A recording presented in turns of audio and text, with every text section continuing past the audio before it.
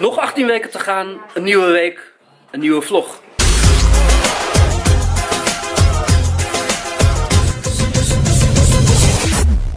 Ik heb hier bezoek van eh, drie prachtige mensen van Eritrese afkomst.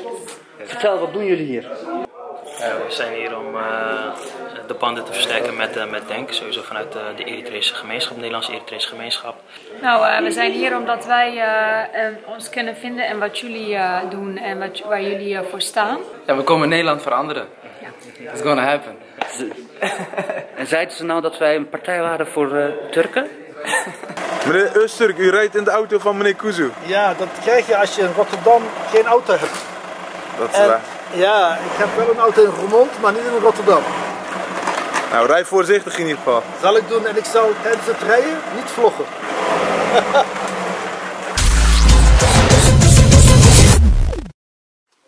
ik heb vandaag bijzonder bezoek. Bezoek van Hugo Borst. Dat mag je wel zeggen, wij zijn heel Karin. bijzonder. Zeker. Wij zijn heel bijzonder. Ja, en waarom zijn jullie bijzonder? Nou, wij zijn bezig met een uh, tocht langs alle politieke partijen. Nou, en je hebt er nogal wat in Nederland. En dat doen wij natuurlijk om ons manifest uh, onder de aandacht te brengen. Niet omdat wij zo bijzonder zijn. Wel maar omdat wij zo knap zijn ook. Misschien wel, ja. maar vooral omdat we vinden dat niet alle ouderen in Nederland in verpleeghuizen de zorg krijgen die ze verdienen, waar ze recht op hebben. En wij vinden dat alle verpleeghuisbewoners goede zorg verdienen en moeten krijgen. En we hebben meneer Koezel gevraagd met ons mee te denken en uh, ons te steunen vanuit de Kamer. Ik heb een uur lang gefascineerd geluisterd. Tien punten, daar bestaat het manifest uit. Ja. En mensen kunnen het manifest ook ondertekenen, hè, Ja. door hun steun te laten Ze worden. kunnen naar onze website gaan, scherpopouderenzorg.nl. Dan moeten ze wel rekening houden dat ze niet de eerste zijn. Want ik denk dat er al een stuk of 80.000 voor zijn geweest. 80.000 al? Dus Ja. je bent niet exclusief als je tekent. Nee. Maar we zijn ontzettend dankbaar als je het doet. En je bent in een heel goed gezelschap. Scherp op ouderenzorg.nl. Ik ga het in ieder geval ondertekenen zo. Super. Maar ik ga er ook mee aan de slag de komende tijd tijdens de begrotingsbehandeling VWS. En Je weet, hoop- je doet nu een belofte, hè? Ja, Ja, zeker. op. En, en het staat erop en het staat En we op houden ze allemaal in de gaten, want er zijn ons al wat beloftes gedaan, hè? En dan komt het terug, hè? Want op het moment dat het niet gebeurt, Wij zijn niet politiek Weet correct. je, dan hè? is het Wij wel- zeggen dan gewoon, je hebt iets niet goed gedaan. Ja. dan hebben we wat gemeen. Nee, maar goed, we gaan er dus mee aan de slag. En ehm, nou, ik, ga, ik steun in ieder geval het initiatief van harte. En ik hoop dat jullie dat ook gaan doen.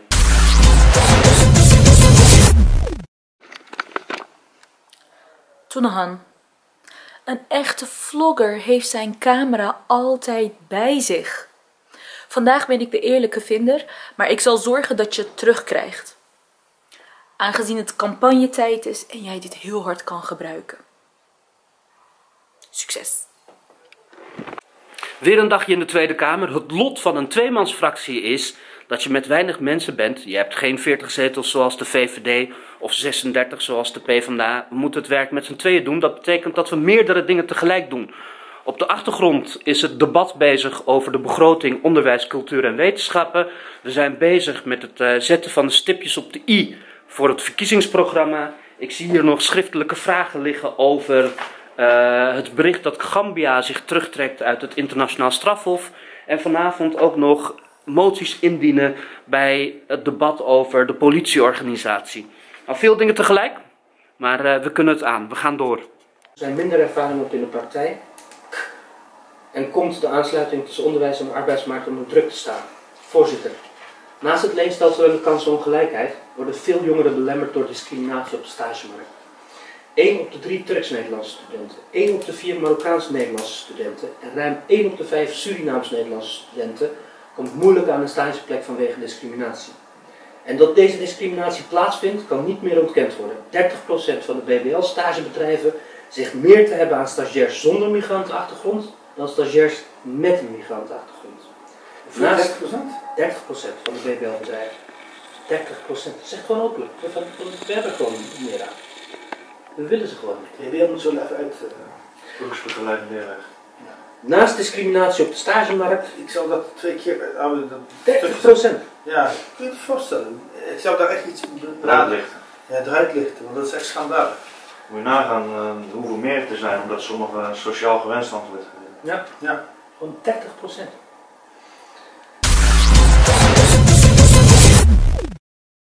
Luister, luister, luister. De PVV. En tot doel hebben onze op westerse waarden, normen en wetten gebouwde democratie en rechtsstaat ver te werpen, verzoekt de regering de dialoog en samenwerking met islamitische organisaties per direct te beëindigen en gaat over tot de orde. Het is toch gewoon elke keer gebruiken, de islam gebruiken, islamitische organisaties gebruiken, als stok om mee te slaan. Hè? Van, van de, de, de Dat islamitische organisaties onderworpen zijn aan de wetten van de haat druipt er vanaf. Kijk, daar komt die. Volgens de GroenLinks uh, heeft een goed verhaal. Je moet de mensen betrekken, omarmen, samen proberen in Nederland uh, een goede toekomst te bouwen. Hoe En op de, het op de achtergrond zie je dan ook onze grote vriend Marcouch. hè? Een gemeenteraadslid in Gorkum, omwille van zijn mening in een ander land, over een ander land, uit de partij zet. Raadslid Ilhan Het debat in de Tweede Kamer over integratieonderwerpen is afgelopen. Een stuk heeft het prima gedaan. En eh, we wachten even op hem voor een eerste reactie. Selçuk, Ja, kom maar jongen. Hebben ze je flink aangepakt? nee, geprobeerd. Ik Ja? heb ze teruggenomen flink. Was goed. Was goed. Ze, gaan- ze gingen weer met zes, met vijf Kamerleden op me af. Maar wat je ziet is gewoon dat ze pijn hebben. En met name de graaf. Zo, Die had pijn. Ik heb gewoon gezegd van, je krijgt dus een keer van repliek terug. Flink hè. En ik kun er niet tegen. we hebben het gevolgd, dat staat erop. Ja, weet je wat je ziet? Dat de graaf maandenlange pijn van hem nu in één keer uitkotst. Ik heb tegen hem gezegd van, hé, hey, je hebt al die mensen pijn gedaan. En nu zeg ik iets terug en je kan er niet tegen. Ja, precies. Kleinzielig. Kleinzielig. Wa- waren ook de woorden die je gebruikte. Maar goed gedaan man, zullen we een hapje eten? Ja, dat gaan we doen. Oké. we gaan. Ik zit hier vandaag met twee scholieren, studenten. Ja, ja. En ze, willen, ze, hadden me benaderd voor een interview. En we gaan zo even een interview doen, wat hartstikke lief is. Je krijgt dan ook bloemen. En die bloemen die krijgen natuurlijk een mooie bestemming hier op eh, de kamer. Ja. Maar dames, vertel, wie zijn jullie? Ja, nou, ik ben Sohaila. eh ja, Sohaila oké. Ja, Wat? ik ben Doorhem Goosjan. En we zitten allebei eh, op 6 VWO. eh, op Damstede Lyceum in Amsterdam-Noord. Maar eh, voor het PWS hebben jullie een werkstuk over Over de economische gevolgen van discriminatie. economische gevolgen van Ja. discriminatie. Nou, ik ben benieuwd. We gaan dus aan de slag. De dames waar ik eh, net het interview mee heb gehouden, dat zijn, eh, ze hebben niet alleen bloemen meegebracht, maar ze hebben ook een kaartje meegebracht voor Sylvana. Ja, ik zal voorlezen wat wij hebben geschreven. Ja, maar kijk, kijk, kijk, hoe, kijk hoe schattig en lief ze zijn. Hè? Kijk. Eh, allerliefste Sylvana, je bent een prachtvrouw, van binnen en van buiten. Je bent onze inspiratie, je leert ons vechten voor onze rechten. We weten dat er vele mensen achter je staan. We support you. Geweldig. Ma- Mag ik het kaartje Ja, ook, zo hebben even- meerdere mensen ingeschreven. Kijk, een, een opkikkertje voor Sylvana. Kijk, Sylvana. En wat, wat er allemaal. Nou, de- deze gaat zo je postvak in, maar het is natuurlijk geweldig dat eh, deze dames dit initiatief hebben genomen. We support you, girl. Telefonisch interview met Funix. En we gaan het hebben over de verlaging van de kiesgerechtigde leeftijd naar 16 jaar. En eh, eh, dat ik aan het vloggen ben. Nou, maar dat is dus heel erg denigrerend over jongeren. Ik denk dat eh, alle jongeren goed kunnen nadenken en heel goed beseffen wat ze willen. En het idee dat, dat jongeren, 9 van de 10 jongeren niet kunnen nadenken, dat is, dat is, ik weet niet waar dat vandaan gehaald wordt. Maar het doet totaal geen recht aan de werkelijkheid, uiteraard. Mensen die op dit moment 15, 16 zijn. Wil jij kiesrecht? Nou, dat was dus hè, een paar seconden eerder zijn we dan. Hè. Je hoort het eh, op de radio, zie je het dan een paar seconden zie je het later. je telefoon, dan ga je naar Phoenix.nl. Maar ik zag, ik zag dus ook dat, dat Shay tijdens eh, het gesprek aan het kijken was op de YouTube-pagina. En filmpjes van ons aan het bekijken was. Nou, zo, altijd goed om dat soort dingen te doen. Ja, even een klein onderzoekje. Terwijl ik, Leuk. ik ga je bedanken voor je tijd, nu. Graag gedaan, Morat. Hey, ik heb eh, bezoek van. ehm, nee. Ik heb bezoek van Jaren Attish. Ze komt uit Zoetermeer. Hallo. Hey, eh, wat, wat ga je doen bij ons? Stage lopen één keer in de week. En tot wanneer ga je stage lopen? Tot de verkiezingen. Hoe oud ben je, Jaren? Ik ben 15. 15. En wat wil je later worden? Politieke leider. Kijk, van welke partij? Denk. Daar, daar staat het op. Hoppa.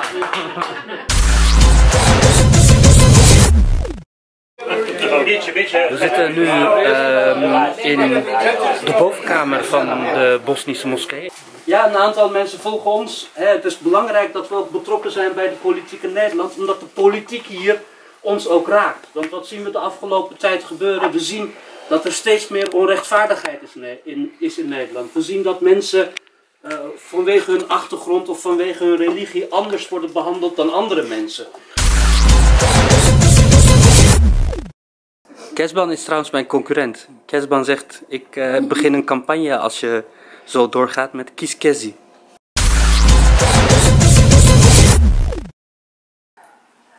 Kies. Casey, Casey, Casey, Casey, Casey.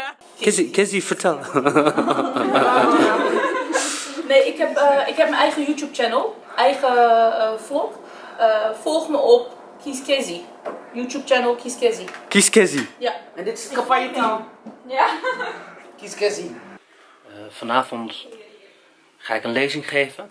En dit keer niet in Nederland, niet binnen de landsgrenzen, maar bij onze zuiderburen in België, op de Universiteit van Antwerpen. We zijn nu een presentatie aan het voorbereiden over wat we de jongeren, de studenten die daar zullen zijn, gaan vertellen. We zijn op dit moment in Antwerpen. We lopen nu naar de campus van de universiteit. Ja, de reis was wel vertoefelijk. Het heeft toen ongeveer een uurtje of anderhalf geduurd. Uh, nou moet ik nu het woord geven aan meneer Tonaan Kuzo. Dank u wel. Van ja, maar Tonaan, jij Kuzu, jij bent anders. Dan spreek je goed Nederlands. Of ja, maar jij bent helemaal niet zo. Ik sta op dit moment uh, in Antwerpen in een collegezaal. Vroeger zat ik achter de schoolbankjes, de collegebankjes en nu sta ik ineens voor de zaal met een enthousiast publiek achter me. Beste mensen, laat je eens horen.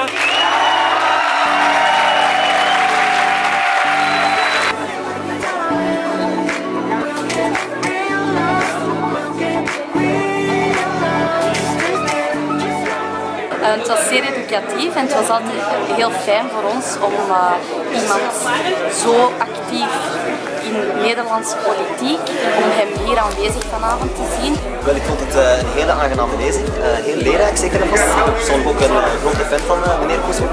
Ik vond de lezing geweldig. Ik vind het geweldig dat jongeren worden aangespoord om mee een bijdrage te hebben aan de samenleving. Want zoals meneer Koes ook heeft gezegd, wij zijn degenen die de toekomst zullen bepalen.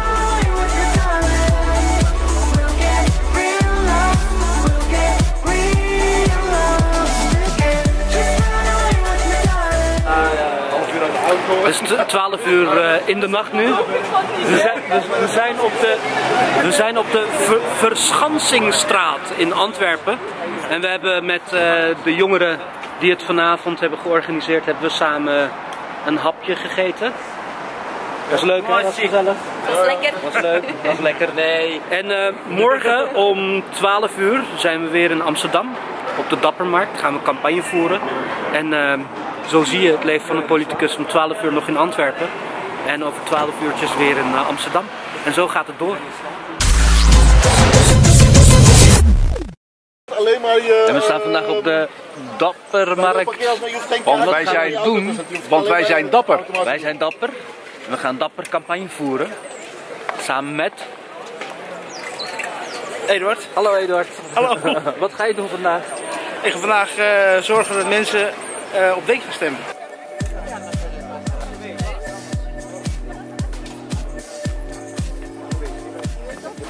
Nou, ik zeg uh, die meneer, ik zeg, ik zit die programma te bekijken waar, waar jullie voor staan. En ja, ik ben ja, ook zo denk het, Nederland is voor iedereen en iedereen is gelijk. Dat is het. En dat vind ik heel belangrijk. Ik sta erachter, dus ik, ik ga jullie stemmen. Hartstikke leuk. Ja, oké. Okay. En jullie veel succes. Wij gaan ons best doen. U gaat op Denk stemmen? Ja, denk ik wel. Ja. Nou, ik ben wel zeker. Fantastisch. Oké, okay, succes hè. Ja. Dag meneer. Jullie ook. Doei. Henk, de man van Ingrid, die zegt ik ga Denk stemmen.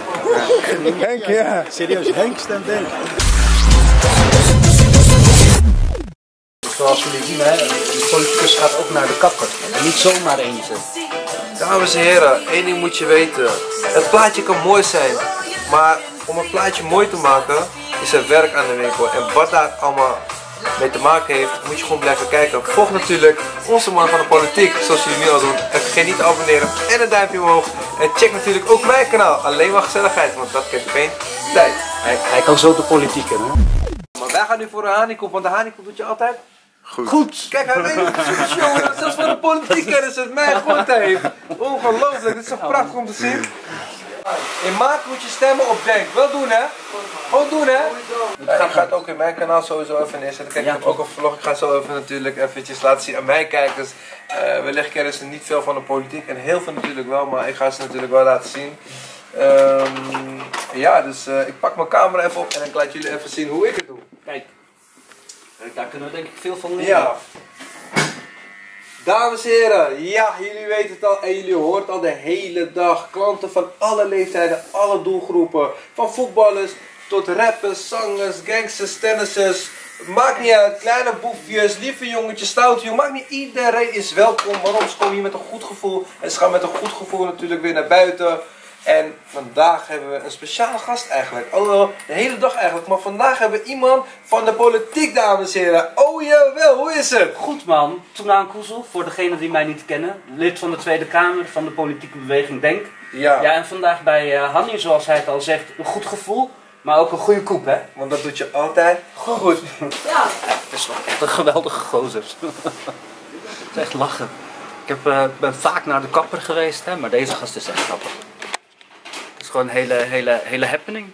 Het is niet alleen uh, je haren knippen en weg, maar het is gewoon een hele happening. Het is echt gewoon uh, super gezellig. Dus ik zou echt zeggen van uh, hier moet je een keer, minstens één keer geweest zijn. Zeker weten. Ik gun het gewoon, dat doen het gewoon niet. Ik gun hem gewoon. Ja, kijk, kijk, kijk. Abed! Abed, kijk, ik heb visite Abed! Sun Allah, maşallah. Nasıl Abi boks, abi var mı boks abi? Oh. Hep abi. Vay vay abi. Abi, seni seviyorum abi. Seni çok vay. Ja. Het mooie is natuurlijk, Hoofddorp is echt een hele gezellige stad. Hè? Van, je hebt een gezellige kapper, de buren daarvan, gezellige groenteboeren. En het mooie aan Hoofddorp is, maar dat geldt eigenlijk voor de hele multiculturele samenleving in al onze diversiteit, is dat overal waar je komt je van alles aangeboden krijgt. En ja, ik kon het echt niet laten om de lahmacun met dunner te weigeren. Dus uh, gewoon echt enorm bedankt uh, voor, deze, uh, voor deze jonge heer. Van deze meneer en deze jonge heren. Jongens, hoe lang bestaan jullie hier al? Al uh, 14 jaar. 14 jaar ja. hier in Hoofddorp en daarvoor hebben jullie ook gezeten in Amsterdam. In Amsterdam, oh ja, Albert Kijk, ja. We zijn super gastvrij ontvangen. Deze mensen van Qualité Supermarkt in Hoofddorp, in het centrum, zijn echt geweldige mensen. Harira. We zijn weer aan het einde van een week gekomen. Dat betekent dus het einde van de vlog. Ik overhandig deze vlogcamera nu aan onze editor. Ik geef het zo aan Redwan. En uh, als ik dan hier toch kom, dan krijg ik toch allemaal hele lekkere dingen aangeboden. Hè? De Nana thee en de Harira soep, daar ga ik van genieten. Beste mensen, goed weekend. Geniet van deze vlog. Dit is het einde van deze vlog. Volgende week nieuwe vlog. Kies Koezel, stem Denk.